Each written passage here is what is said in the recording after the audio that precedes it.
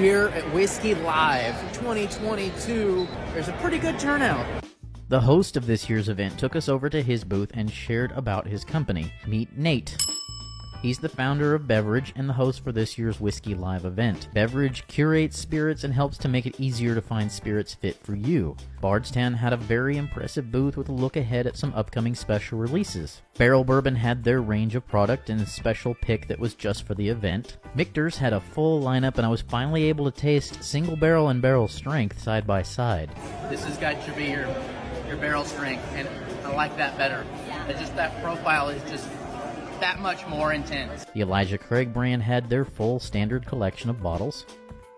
There's so many different vendors here. How would you know that you need to try this whiskey made in bear country? Triple oak age. I mean, it sounds gimmicky. I mean, that was smooth. It was soft. The the oak was very present, but not overbearing. Westland from the Northwest was a new brand I've never tried before. It was pretty good. The award for best looking bottle goes to Boulder Spirits. Amazing.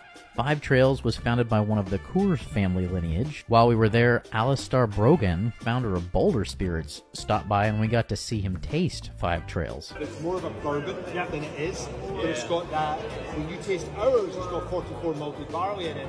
If there's a little bit of a lean towards that kind of that yeah.